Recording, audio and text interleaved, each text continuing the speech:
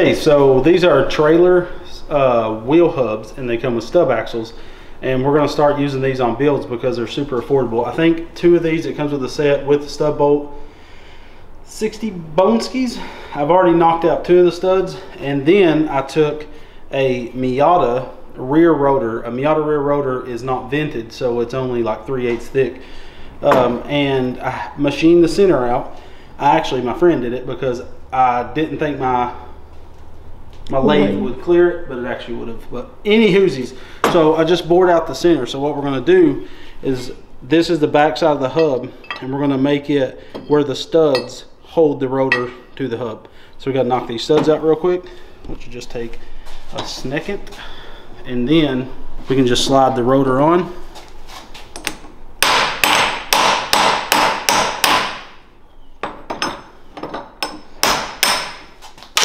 We can take the rotor. I'm hoping all this clears. Your boy technically don't know. What am I doing?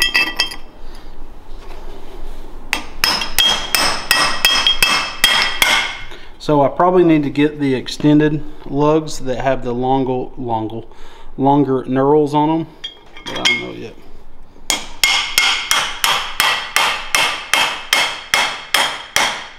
Okay, so it has some space to pull it. So we can put these on backwards and drive them on with an impact. Hmm. Can the Hercules drive it on? Who knows? So someone was asking about the Hercules tools the other day. What I found is the bit driver is just as good as the Milwaukee in my opinion. No difference. I don't miss my Milwaukee one. Uh, angle grinders are just as good as the Milwaukee ones. Honestly, like if you got a five amp hour battery, they they feel the exact same. Drills on the other hand, if a Milwaukee is a 10, this is about a 7.5 to 8. I do see a power difference. I'm most likely going to switch back to my fuels um, but I did sell my grinders. I was that confident in Hercules. I didn't have a bit driver because I modified mine with the 3 8 anvil or half inch anvil a long time ago. Um, but I can tell you these things are super strong. You'll actually break these adapters if you're not careful. But that's my thought so far.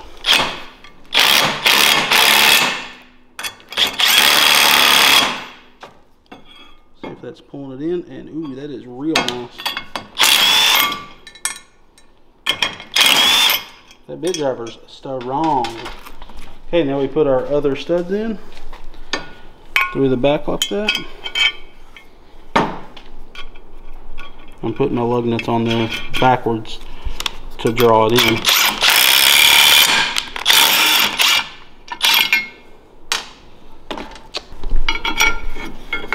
And now we just gotta worry if the disc is gonna clear everything.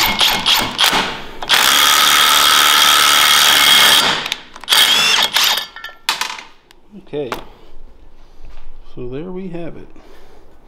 So now we have, so if we ever want to change the rotor, which you shouldn't be wearing out rotors that often, especially thick boy 27s like that, we just knock those studs out and go to Napa, buy a $20 rotor. I think they're 30 at Napa, but they're 20 on Amazon. And we put a new one on and bippity boppity boop, bob jumple. I gotta remind myself when sitting on this wheel that it has uh, spikes on it. Poke my sphincter. okay.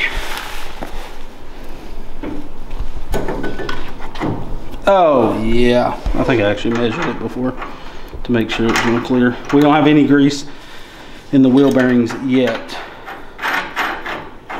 So don't yell at me. It's a little tight.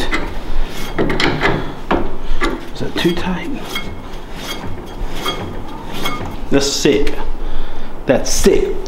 Sick. Okay, now we got these wheel Wilwood brake calipers. So you can get these on Amazon or you can get them at protolightracing.com. Uh, and he carries pads and everything. They're super nice because you just pop that clip out, slide it out, and you can slide the pads right out from the top. So if you're doing brakes, you literally can do brakes without taking off any bolts other than your wheel. Um, taking off your wheel. But look at that. So now we literally got to build a flat mount. It's gonna be so easy. Thank you, Jesus. off of that. So I'm gonna run on CAD real quick, and we're going to build a little standoff boy. I feel like we need a high five for the day or something. we'll have front brakes done in no time. well, let's pump our brakes. We still got plenty of time for something to film. Uh, and then when we do this, we also want to get, so this is dual piston. And if you notice, it has bleeders on all four corners. So it doesn't matter which way you orientate this, doesn't matter. You're going to have a bleeder up always. And the inlet, I have put a eighth inch to um, 3AN, and then I have stainless 3AN lines that run from my A-arms to a center bulkhead. And this is a three port just with a bolt hole in it, a three port uh, eighth inch MPT, and then I put on each side 3AN. Right here will be a brake line, 3 8, 3 16 brake line inlet. So this, I'll drill a hole and weld in a bulkhead for this. So it'll bolt right there, dead center of the chassis. The hard line will run up. Well, it'll tee off of this to go to the back. Don't you dare, young And uh, hope you guys are enjoying this. I love to watch. No, either whatever. Uh, what would be nice is if I had a master cylinder to hook up to it, just to pump it so it holds itself in place. Because the only thing I want to get it as centered as possible on this. Like, I don't want it floating.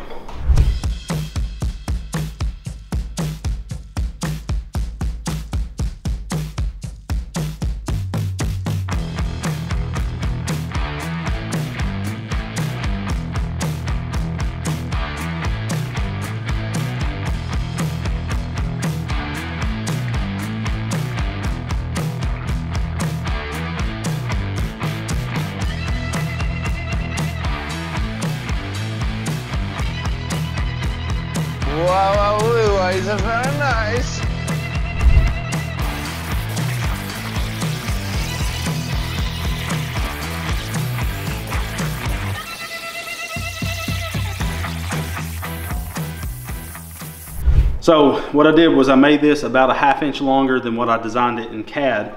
Uh, like we cut it and it wasn't correct. Here's the originals. So I made it a little bit longer and now they clear perfectly.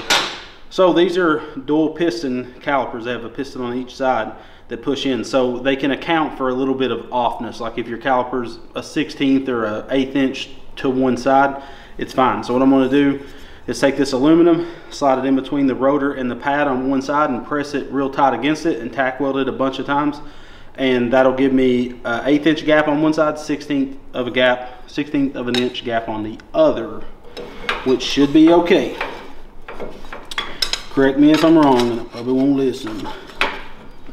So I'm just setting this in wherever I think it looks good at and just pushing it against it.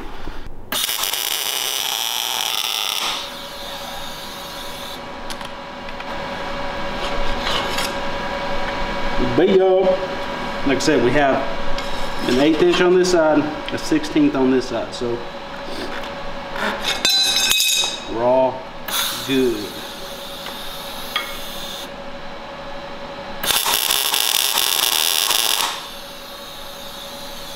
What I'm going to do is pull the caliper off, pull the rotor off, and fully weld these because they're they're where I need it. You can see it's there's no scraping, no pressure in this, of course. So now we can replicate this on the other side. We already got the bracket made in the caliper. Got to put our rotor on the hub and then front brakes will be done and we can start running the lines. Cool.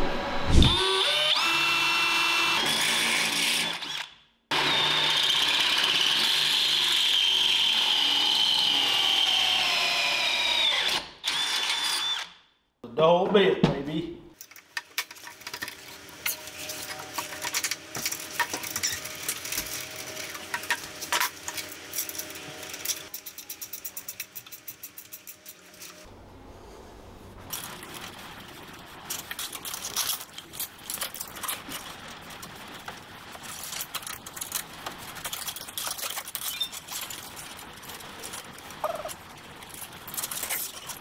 Okay, brake lines are done for the front-ish. Now we just need to make a hard line that goes from here up to the master cylinder. If you ever work on brake lines, this tool is the best investment you'll ever buy. And the brake line straightening tool. I bought that puppy too. And I'm just, oop, that's a lot of dab. That's a lot of dab will do you. But you do want to grease these puppies.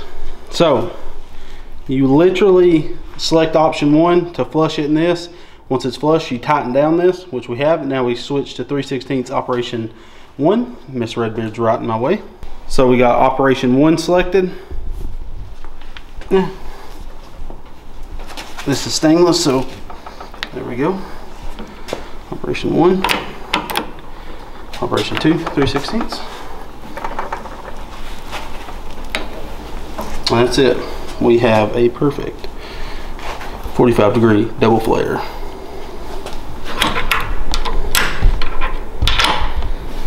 Look at that. It is crazy how good that is. So one big thing I've learned with brake lines, you always either use a little bit of like grease for oil, like lube on it, or use brake fluid. Now I always normally file these, but this Eastwood does so good. You normally don't have to. And with double flares, when you first cinch it down, you like tighten it, back it back out, and wet it when you're putting it all together with brake fluid. Uh, you tighten it down, break it back loose, tighten it down. You can do that a few times to seat that double flare into the brass double flare to make sure you don't have a leak. On the supercharged buggy when we did it, we had a leak. We just backed it off and tightened it right back down and it fixed it. So this is stainless line, so it's a little stouter. Like this will do stainless, I'm assuming. Uh, but stainless lines are much nicer. So we don't need this bend. This was just a test I did earlier. So now I'll do a 90 degree bend in this side that matches the length of this one. And then we can figure out the length and cut it to length to reach our little bulkhead. So we'll do that next.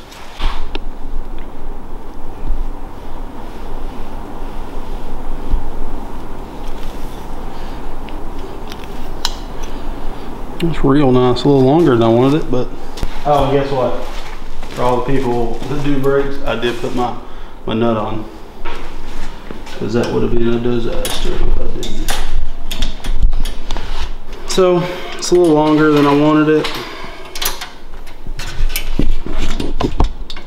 It's about time it's just real close to the steering arm. That's a shame. So what I think I'm gonna do is, is I'm going to cut this off. I knew I knew it was a mistake using that one. That's what I don't like about those brake line benders is they they make too long of a 90. You have to do the flare before with that flare tool. You have to do it before you do the 90 uh, because like that's how long I needed the line 90 because I test bent it and that's how long it ended up with that. That's the shortest I could do with that. All right, so now that we have the front brakes all done up, I'm waiting on, I don't have any 3 8 uh, thick plate, and I need a 3 8 thick rear rotor. And when we built the rear end, I actually put a spacer in the suspension to space out the CV joint for the thickness of the rotor.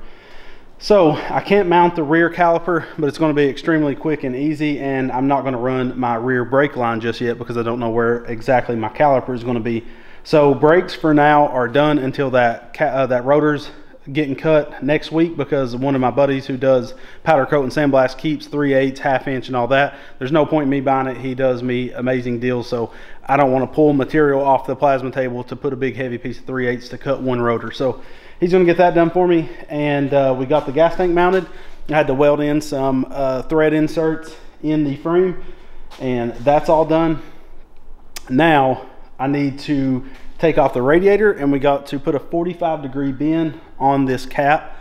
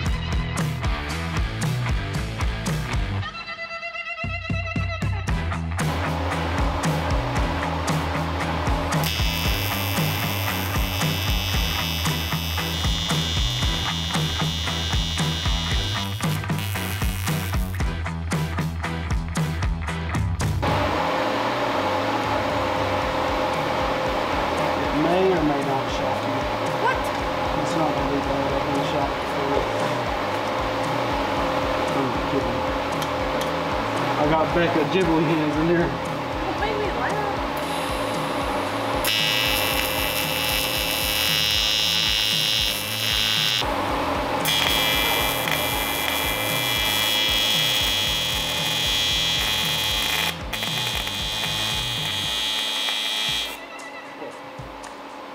Did it shock you?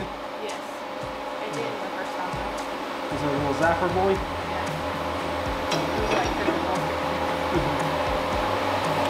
Does not like to weld. We turn my gas up. This knob on the front, other one, a little bit. Keep going.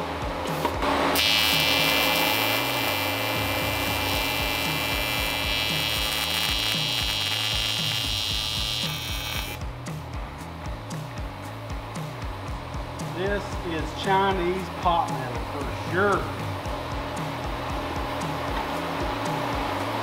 Nothing but the best, baby. Nothing but the best.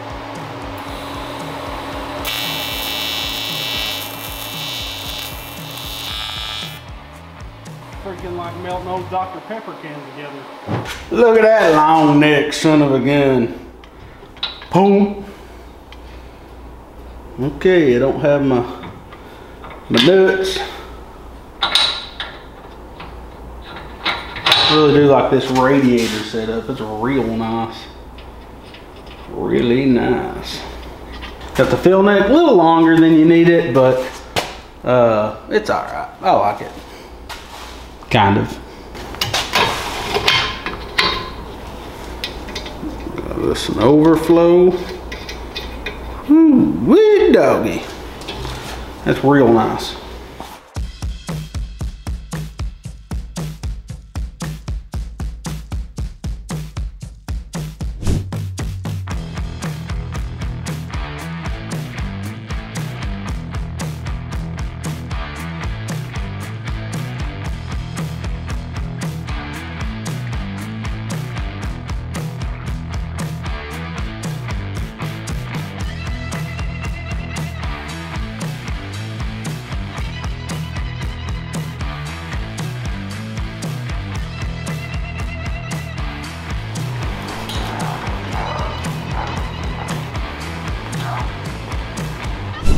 All right, so we have everything uh, buttoned up for today's video. You know when you finish something and you look at it and you're like, that's dumb. I don't know why in the world I left this freaking long neck draft style um, neck on this. I was actually supposed to cut it shorter when I got on the fab table. Completely forgot. So what do you guys think? Should I cut it off uh, off camera and shorten it or do you think it's fine leaving it like that? It does look a little dumb. I don't know why. It was just a brain fart, I guess. But uh, we got the coolant lines run. Uh, the only thing we have to do is there was a Y on the engine block that wired off to the dual radiators that was on the bike. We don't need that anymore, so I need to cap one side of that off to finish out the cooling system. And in the next video, we're basically gonna tackle the clutch cable, uh, the throttle cable. We're gonna finish the rear brakes real quick because we're waiting on that rotor to come in and oil lines. If anybody knows on these YZ450s, which side of the engine is the output and which side is the return for the oil, let me know. I'm gonna call Lansdowne Family Racing. He messes with these, uh, you know, ATVs and dirt bikes is what he does. Uh, so I need to know because I'm, one needs to return to the top of the tank, one needs to suck from the bottom of the tank. So we need to know that so we can get our oil lines. And I have something pretty cool I'm going to do with the factory oil lines on this engine. Because this is a dry sump engine, it houses all the oil in an oil tank, and that's why we built the oil tank. But you can get away with using go-kart brakes on something like this. The only reason we did the Wilwood calipers is because we got almost 60 horsepower in this engine. We want to make sure we have the best brakes that we possibly can. But the Go Power Sports 150 style brakes, they do really well on most builds. Like if you got a 440 or something, you're going to be able to get by with those. Just put bigger rotors on them. I don't know why the Chinese decided on the 150s to put five inch rotors, but um, we have a file that we can cut some eight inch rotors for them that bolt right on the Go Power Sports hubs for 150s like we used on Gravy Bones and other builds like that. So you don't have to spend this kind of money to get brakes. You can get by with some Go Power Sports stuff that works actually really good and we'll link that down below. We got our shocks, our steering set up, link down below. Go Power Sports uh, supported this build so we can make an affordable cross kart. Uh, you don't have to have 15 inches of wheel travel to have fun. This thing's gonna be a blast and we use really budget stuff on it. Uh, and that was the purpose of this build. So massive shout out to Go Power Sports. Everything's linked down below. And also a massive shout out to Centurial Tools. Uh, back when we started this, they funded this whole project, sent us the dirt bike, and helped buy stuff like the wheels and tires. So massive shout out to them. Make sure to check out their links in the video's description where you can find the tools that help you notch tube faster, especially if you're a beginner in notching tube the uh, Centurial tools makes life way easier. Like I have to teach myself an old dog new tricks because I taught myself to notch tube before I got their stuff. Uh, but Centurial really, if you can train yourself on those tools, you'll be way more efficient on notching tube and you'll have way less waste. I promise you that. So make sure to check out all the links, support your boy and support the build. Uh, next video, we'll be finishing everything up. So should be two more videos when we riding this thing finally. And then we can get on the SEMA build. That's next on the chopping block. So uh, thank you guys so much for watching. Remember, we love you and God loves you. And we'll see you on the next one. God bless.